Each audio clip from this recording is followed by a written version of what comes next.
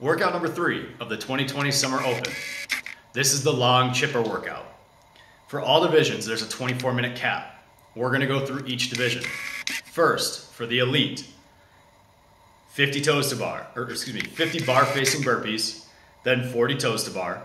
Then it's 30 deadlifts at 185, 20 hang cleans at 135, 30 handstand push-ups, 20 hang cleans at 135, 30 deadlifts at 185, 40 toes to bar, and then 50 bar facing burpees. Score number one is your time to complete the handstand push-ups, and score number two is your time to complete the chipper.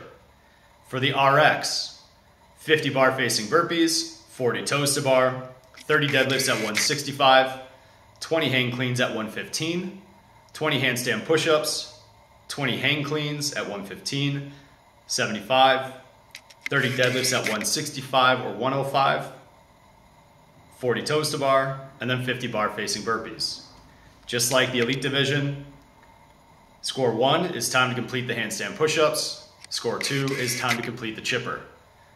For the JV, 50 bar facing burpees, 40 ab mat sit-ups, 30 deadlifts at 95 pounds, 20 hang cleans at 65 pounds, 10 shoulder to overhead at 65 pounds, 20 hang cleans at 65 pounds, 30 deadlifts at 95 pounds, 40 ab mat sit-ups, and 50 bar facing burpees. Score number one is your time to complete the shoulder to overhead, and score number two is your time to complete the chipper. That is workout number three for the 2020 Summer Open. For the bar facing burpees, you'll drop to the ground with your chest touching, stand up, and jump over the bar. We do not care how you stand up out of the burpee, only that you jump over the bar. You cannot step. For the toes to bar, just hang from the rig, kick up, have both feet touch the bar at the same time and between your hands. You don't have to get your feet behind the rig, but you do have to have an open hip at the bottom of the swing. On the ab mat sit ups for the JV, You'll have an ab mat on the ground. You'll sit in front of it. You'll reach back, touch your hands behind the ab mat, sit up forward, and touch your hands to your feet out in front of you. For the deadlifts, deadlifts will be done either traditional style, bar on the ground, stand all the way up with the legs, hips, torso in line, or they can be done as sumo. The same rules apply to the lockout. The only difference is that you can have your hands between your hip. You don't have to overarch, but you do have to stand up. For the hang cleans, you have to come up to the hang position before starting your first rep.